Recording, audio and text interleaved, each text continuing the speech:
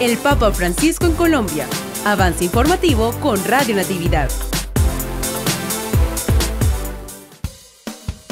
Amigos de Radio Natividad, hoy vivimos otra jornada más importante con el Papa Francisco, este 7 de septiembre, digamos la primera, ayer la llegada, el primer día, pero hoy la primera jornada intensa con el Papa Francisco en este avance para Radio Natividad, en esta cobertura especial junto al Diario Católico. Vamos a conversar con el amigo José Ramón de el portal María Madre de la Iglesia, que también es muy conocido en nuestra región, eh, en las redes sociales, con el contenido que siempre nos ofrece para la formación cristiana y también para eh, crecer en la espiritualidad eh, del cristiano, del católico y en la formación también en la fe.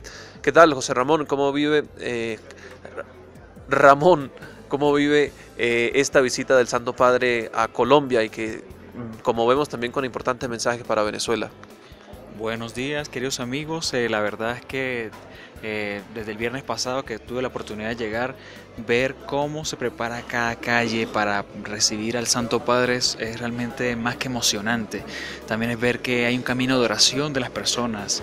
Es también ver que ha, ha, habido catequesis, ha habido formación constante de la conferencia episcopal en todas las respectivas diócesis de Colombia. Algo que me llama poderosamente la atención es ese empeño persistente del colombiano en querer profundizar su fe. Y lo conversamos con el padre Joan eh, hace unos momentos atrás.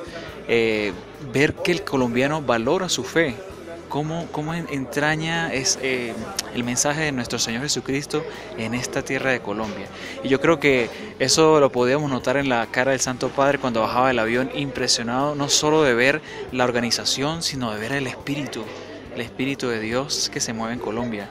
Em, y algo que también profesionalmente me mueve es ver que los periodistas están como más dedicados, más eh, con el, ojo afinado y el oído bien atento para captar esos detalles que están sucediendo en esta visita apostólica porque primero no es no es muy usual que un santo padre se detenga en un país tantos días. Por ejemplo pues la visita apostólica anterior fue en Fátima donde tuvimos la oportunidad también de estar que fueron más nada dos días pero ahora fíjense que Colombia son cinco días, un día para llegar, un día para cada ciudad.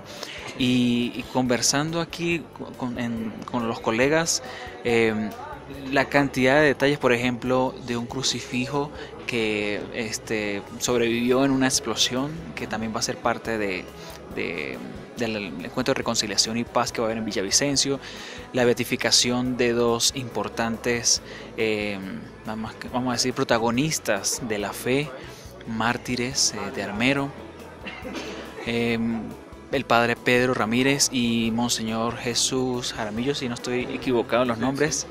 Em, esto es algo que viene en la línea también del martirio de Monseñor Romero porque ciertamente eh, América es una tierra rica en fe, pero también que le ha puesto sangre. Eh, algo importante también que, se puede destacar es cómo eh, justamente en Bogotá se hace el realce del valor de la vida. en Villavicencio, como estaba mencionando, estos aspectos de reconciliación y paz.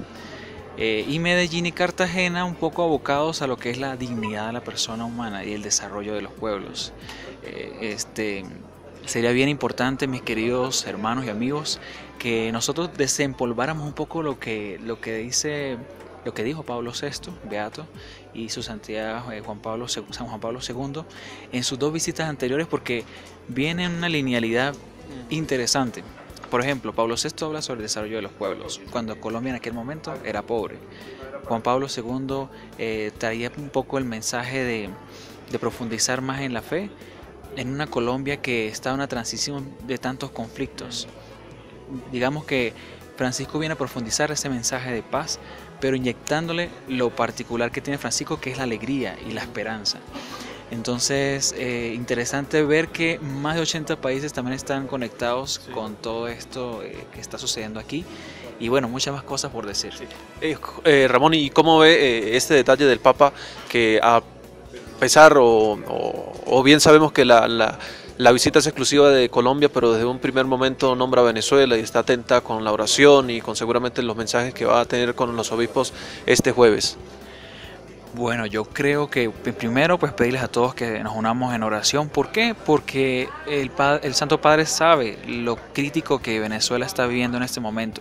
Sobre todo porque los sistemas políticos de Latinoamérica están interconectados. Lo que le sucede a Venezuela definitivamente va a repercutir en Colombia.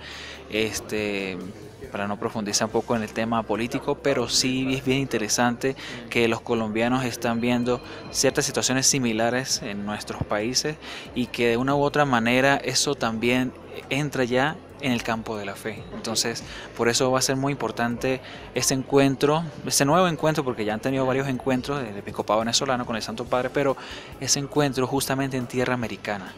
Ese encuentro con el SELM también va a ser muy importante para estar pendientes. Muy bien, muchas gracias José Ramón por compartir con nosotros eh, este análisis de la primera jornada y lo que será también este jueves de la visita del Papa Francisco a Colombia, a Latinoamérica, mensaje importante para esta nación y también para nuestro pueblo, para Venezuela. Les invitamos a que sigan la cobertura también a través de María Madre de la Iglesia en las diversas redes sociales para que estén atentos a esta visita del Santo Padre y a sus mensajes. Volvemos a los estudios y recuerden que hoy tendremos en la tarde la transmisión la misa del Santo Padre desde el Parque Simón Bolívar en Bogotá a las 4.30 de la tarde. Que Dios les bendiga.